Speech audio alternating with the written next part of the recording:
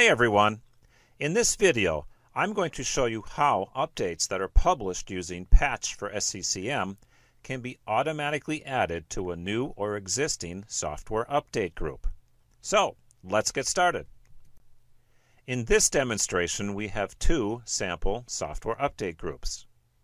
To configure Patch for SCCM to automatically add published updates to one of these groups, we'll use the Schedule tab on the Settings dialog.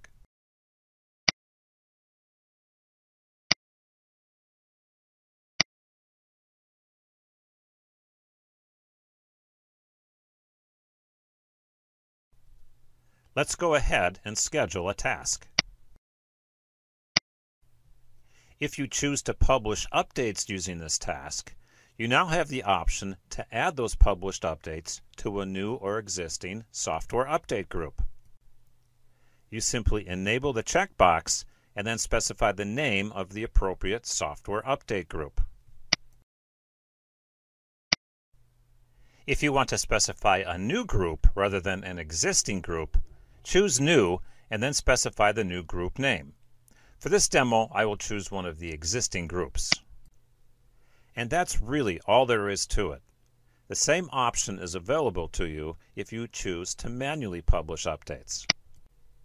For example, let's choose three updates and then click Publish.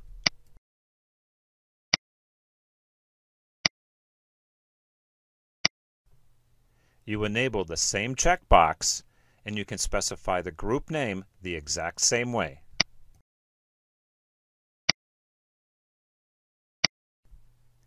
The updates will be added to the software update group after the publication process is complete and a synchronization has been performed.